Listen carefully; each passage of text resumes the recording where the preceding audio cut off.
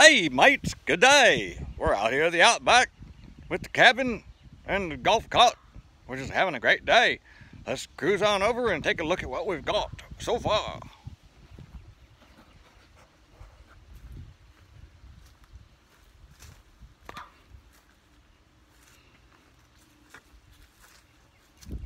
It seems we have a Star club car, electric golf cart with a roof and the windshield it's all there.